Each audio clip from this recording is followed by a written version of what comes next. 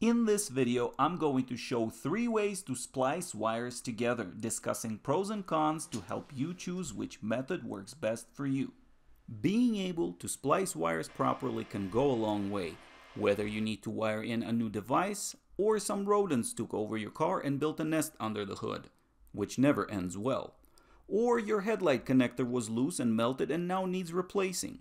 Maybe some wires corroded away due to element exposure or simply broke over time. You can save a lot of money by fixing them yourself because all a repair shop would do is reconnect the broken wires and then charge you $100 an hour for however much time they spent on it.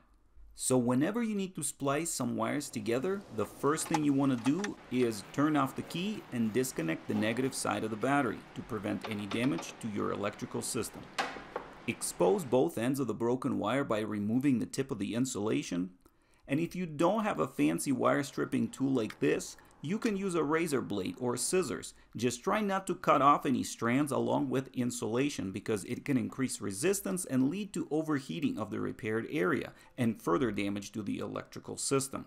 That's why I personally prefer using manual wire stripping tool where you pick the wire size, which prevents you from damaging the strands, and manually cut the tip off. They are usually under $10 and work great.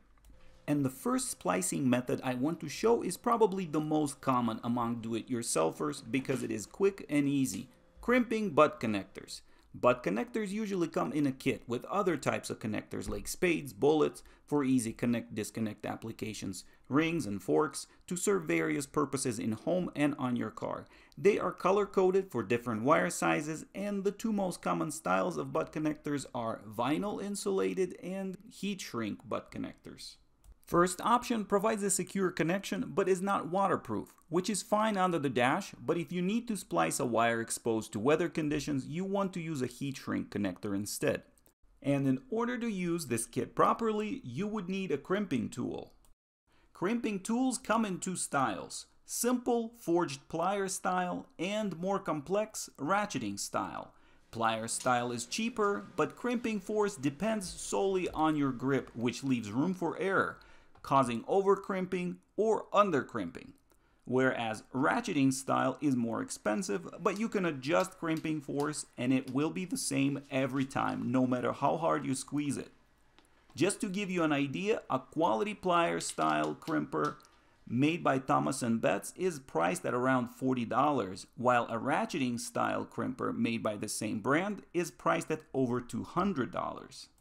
Obviously, there are cheaper versions available in both styles, all the way down to a multi-purpose tool, serving as a wire stripper and terminal crimper at the same time, but convenience of use and crimping quality drop along with the price. Crimping tools usually have different size openings, colored to match connector sizes and marked whether they are for insulated or non-insulated connectors. Now back to splicing. Since butt connectors have a separator in the middle, you want to take off no more than a quarter inch of insulation, otherwise you will leave some exposed wire out.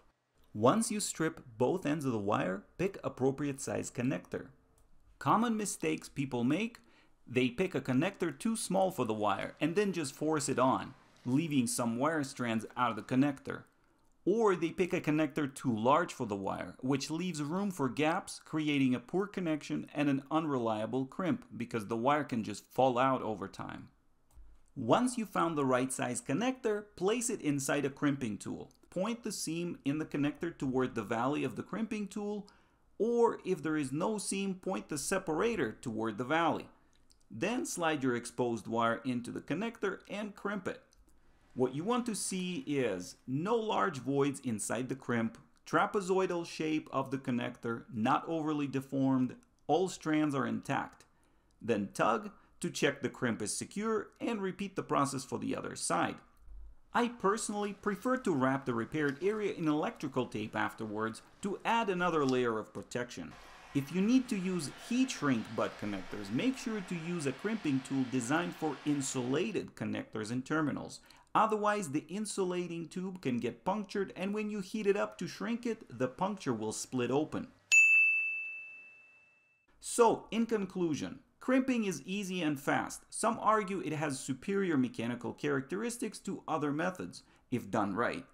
involves fewer harmful or dangerous processes, and works well in limited spaces. But to make this a quality repair, you want to use quality tools and connectors, which can be expensive. Vinyl insulated butt connectors are not waterproof, therefore repairs are prone to corrosion. And now let's move on to the next method, soldering. Highly regarded by anyone who deals with electrical repairs, most people agree it is the most secure and durable way to splice two wires together. For this method, you need a soldering iron or soldering gun, a solder, 6040 rosin core solder is your best option for fixing wires. Because lead-based solder has lower melting point and rosin flux helps solder adhere to wires better. Shrink tubes and heat gun are preferred if you want to make a sealed waterproof repair. Otherwise, you can use some electrical tape. As always, links to the products you see in this video will be in the description. Now, basic steps. First, remove half to 3 quarter inch of insulation, slide a shrink tube on one side, and join the wires together. You can do it a couple of different ways. First option, fan out the strands, interweave, and then twist them together. Second option, cross the wires and twist them away from each other. Both options work equally well. Watch out for wire strands sticking out because they can penetrate through a heat shrink tube.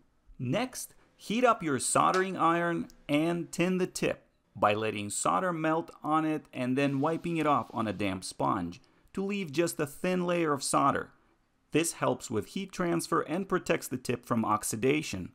Then heat the wire from underneath and feed the solder from up top until melting solder wicks into the joint. I personally like to tap solder on the tip occasionally to help with the heating process.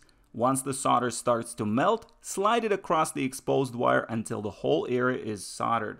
A common mistake I want to mention, when people get impatient waiting for solder to melt on the wire, they start melting it on the soldering iron, because it melts much faster letting solder drip on the wire. It's called cold solder. It makes a bad connection and a weak repair because solder doesn't wick into the joint. So don't do that. Also, protect surfaces from solder drops, work in a well ventilated area, and stay away from flammables.